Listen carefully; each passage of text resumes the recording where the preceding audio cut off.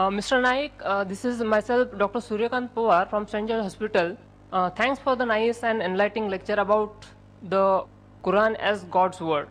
As you mentioned that Quran is God's word, I just want to ask you, who is the creator of the God? What is the origin of God? Brother asked a very good question.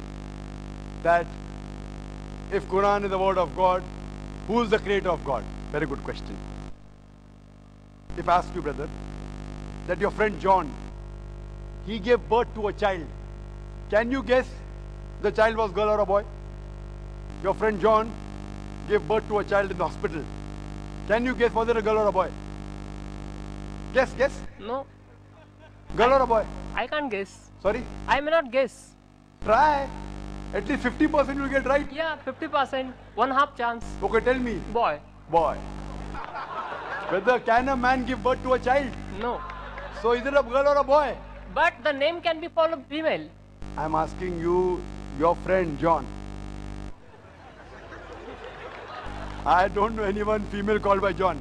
No, we can call, na. Okay, suppose a friend who is a boy, is a man. He went to hospital. He gave birth to a child. Was it a girl or a boy? Girl, Can a man give birth to a child, brother? no, no. Ah, now you understood. A man can't give birth to a child. So where's the question of it being girl or a boy? So by definition, God is uncreated. So a question, who is the creator of God, is like I asking you a question. Your friend who's a man, he gave birth to a child, is it a girl or a boy? The question is illogical. Because by definition, a man cannot give birth to a child. So where's the question of girl or a boy? So by definition, God is uncreated. Every created thing has a creator.